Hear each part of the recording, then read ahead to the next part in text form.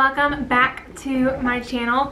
If you can hear the annoying grating noise in the background, that's Bailey chewing on a bone. It's the only way she's not gonna bark and be a mess throughout this entire video, so it's just gonna happen. I wanted to take today to film my first trimester must-haves, aka the things that helped me survive my first trimester. Um, as you know, I am 15 weeks pregnant now, and the first trimester was rough. It was intense and it wasn't fun. but we survived, we're happy, we're healthy, we have a lot more energy and a lot less throwing up, and we're good now. So, I am gonna just show y'all a bunch of things that I think that you really need to have to survive your first trimester. Um, you can give, take some of these, um, and I'll have whatever I can find linked down in the description box below so that you can just click on it and then find it there. So I have them all pulled up on my phone and I'm just going to go through the list and tell you why they're important. So the first thing is kind of an obvious thing. I talked about it in my January favorites. Um, but when you're pregnant, you're supposed to take prenatal vitamins because your baby needs a lot of nutrients and they will take the nutrients from you so you have to replenish your own supply. And I take a different kind now but during my first trimester when I was super nauseous all the time you like it? Griffin's laying right here and I started shaking it and he like looked up at it. When I was in my first trimester and I was super nauseous swallowing a horse pill like my prenatals are now was impossible. I still gag when I take my prenatals now and I'm not even that nauseous. But I suggest getting some gummy prenatal vitamins. A lot of times they help with your nausea and they're just easier to take. Um, there is a bunch of controversy over whether or not they're as good for you. I mean, they're chock full of sugar, so definitely they're not as good for you. Um, but you take what you can get down. So I take, well I took the Smarty Pants Prenatal Complete. They have three different flavors and I really liked them. So now I take a better one for me, but I have to swallow it. So that is my first suggestion. I have like everything just kind of set up here. So if you see me putting things or taking things, then you know what. Second and third thing on my list, I'm just going to put together because in my mind they go together even though they probably don't seem like they go together for you. Um, but I use them together every night. So in your first trimester, or for at least me, I got really dehydrated, which meant my lips got really dry, especially because I'm pregnant in the winter. Um, and so I swear by the EOS chapstick. This is the vanilla, I think it's just vanilla. I don't think it's a mixture. Um, but it's the vanilla little stick form rather than the ball. Comes in a pack of two. I love it. It's the greatest and that helped my dry lips. And then also at night, I would always put on the Young Living Tranquil Roller.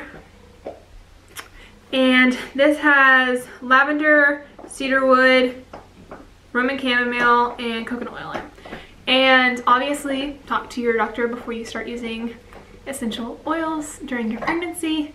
My midwife said that it's okay if I avoid certain ones, and these do not, this does not include any of those. And this is called Tranquil. It's a Tranquil roller.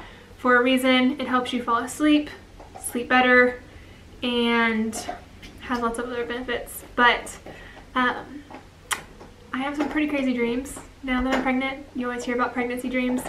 And this helps me fall asleep. So the next thing I have on the list is not here with me. It's in there. But that's my pregnancy pillow and I'll probably try and insert a picture somewhere of one. Um, but I got mine off Amazon, I think, for about $70. Um, and I got mine really early. I got mine at like five or six weeks just because I couldn't sleep because I was so uncomfortable. And I don't use it as much now, but at first I like could not fall asleep without it because I was in so much pain. Um, just my hips were hurting whenever I would lay down and I was just really comfortable. So the pregnancy pillow, I have the U-shaped one. They have the C-shaped one too, I think. Um, but it really helps me falling asleep, especially whenever I have morning sickness and I just wanted to sit in bed in the mornings and like not deal with anything. I would prop it up and watch TV and it really helped with that as well. So I really like it. I'll link one down in the description box below that I found from buybuy BABY. It looks the exact same. I'm pretty sure it is the exact same, but that'll be linked down below. Um, sweatpants. So in your first trimester, you bloat really bad. So you don't have a cute little baby bump yet, if it's your first baby at least. Um, but you look like you're pregnant because you're bloated. And yeah, jeans are not comfy.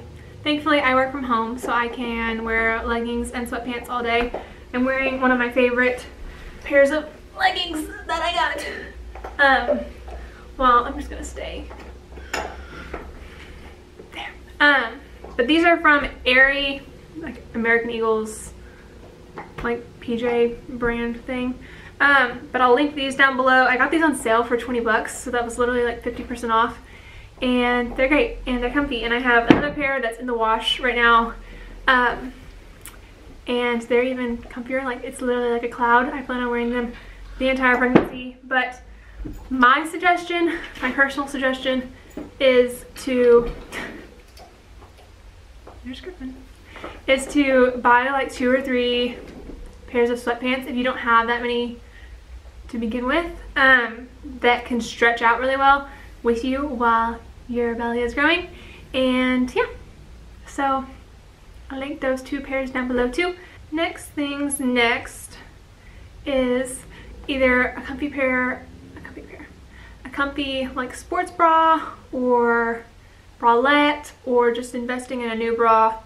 In general I got this one. Um, if you don't know, your boobs get bigger when you're pregnant, um, which was something that I was kind of sad about, honestly. I personally enjoy having small boobs. Um, but I finally got to the point where I like had to get something. and so I got just a cheap little bralette from Target and I think it was like $8, $12. Oops. Um, but yeah, so just finding cheap little good things to get you through until you want to actually invest in like a nursing bra or whatever. I don't know. I'm not to that point yet, so I don't know. But that helped me a lot during my first trimester. Keeping it going, a water bottle. Like you heard me say earlier, I got really dehydrated in the first trimester and I almost had to go to the hospital to get an IV because I was really dehydrated and I really didn't want to. So for Christmas, my mom and my dad got me a 32 ounce hydro flask and I try to drink at least two minimum, um, if not, because everyone, whether you're pregnant or not, should drink at least two 32 ounce drinks a day. Um, because that's 64 ounces. That's like the daily recommended amount. Um, anyways, tangent aside, I try to drink three of these. Sometimes I can't get three of these in just because I'm so sick of drinking water. Um, but I try. I really like this one because it has the little straw. Keeping it coming, I got, I have a few pregnancy books, but the one that I really like during my first trimester at least is the Mama Natural Week by Week Guide to Pregnancy and Childbirth by Genevieve Howland. And she has a YouTube channel and a website, blog website, and she, I don't think she's a doula, but doula, but she, yeah, she's not a, a uh, midwife or a doula, but she has input from two midwives, doulas, whatever.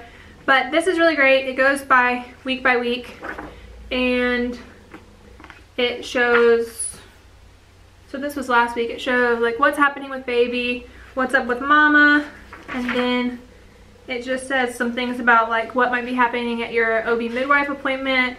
So this is week 14 and it talks about like amniocentesis if you opt for that, an anatomy ultrasound. It says some like affirmations like you can give birth, your body is made for this, yada yada yada. It has recipe suggestions and like a to-do list at the end of each week. And it's really great, to me at least. I really enjoyed it so far. And I really like their website. And if you're pregnant, I suggest checking it out, or at least checking her out online or um, on YouTube here. And, but it's a massive book, honestly.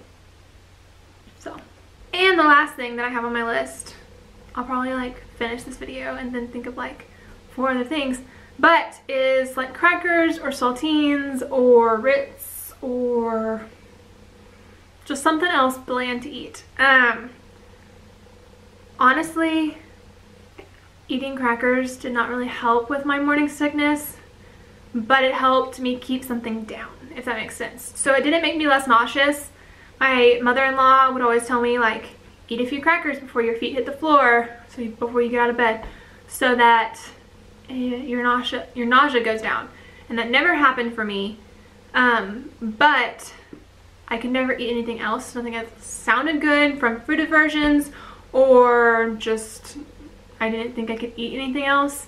And so having crackers or something like that on hand, I could eat those and it gave me a little bit of energy to get through the day. So, yeah.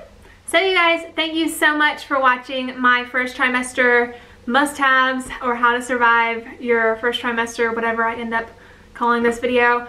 Um, I really appreciate it and don't forget to give this video a thumbs up if you liked it or found it helpful. Comment down below what got you through your first trimester or what you're struggling with if you're in your first trimester right now. And subscribe for more pregnancy and baby and mommy videos to come. So I hope you have a great day and I will catch y'all. I think this video is going up on Wednesday. So if it goes up on Wednesday, then I'll catch y'all on Saturday. And if it goes up on Saturday, then I'll catch y'all on Wednesday. But I hope y'all have a great day and peace out, Girl Scout.